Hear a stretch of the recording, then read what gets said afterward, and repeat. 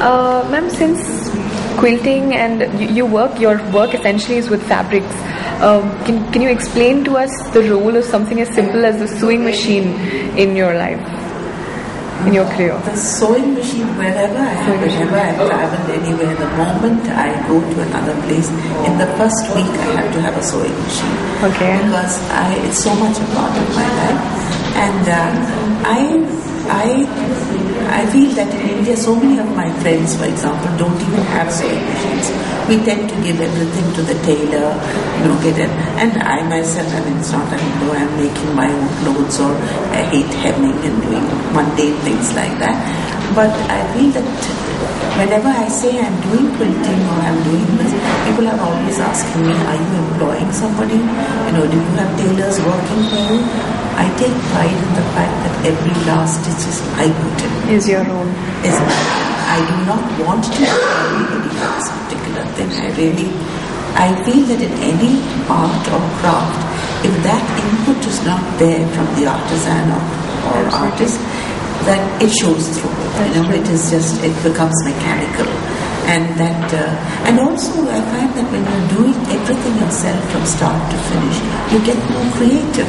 Because Correct. you're saying, you might just be that you put a bundle of fabrics out on the table, you know, then you suddenly see that this fabric on top of that fabric Looks looks, so better. wonderful. Okay, let better. me try something, Try with that.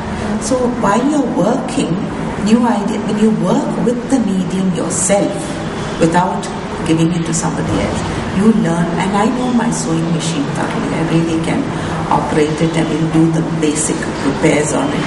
Not, not everything, of that's course, nice. but That's yeah, really nice yeah, yeah. Uh, I mean, when they do either puja, I, I Oh, on my sewing machine. that's really nice. That, that, that, that's nice. Something so, uh, something that has uh, sort of lost its um, value, as if I may. You know, it's kind of lost its value in an Indian household as of today. Even if people had sewing machines, they've probably given them away. They They've them probably given them to the dump, or they've given them to someone who might use them, or sold them as scrap.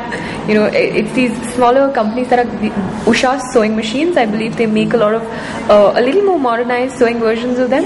They've started coming into the market, so it's it's nice to see that something forgotten is is sort of making sort of some sort of comeback to make to help you make something so brilliant, something so extraordinary.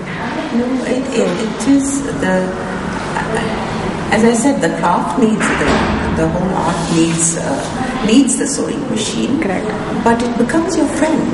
Really, you have to know it. You have to know how to work it, and uh, what you can get out of it. You know, most of this work is done with free motion embroidery. It's called, which means that the, the the sewing machine has got any. you- If you know the sewing machine, you might know that it's got a sort of corrugated metal thing just below the needle, which is what feeds the fabric. Correct. Now, when you lower that, your you can move your fabric in any way. Oh, So virtually, your needle becomes your pencil or brush or whatever, Drawn. and this you're moving. Becomes your Instead canvas. of moving your pencil, you're moving your canvas. absolutely.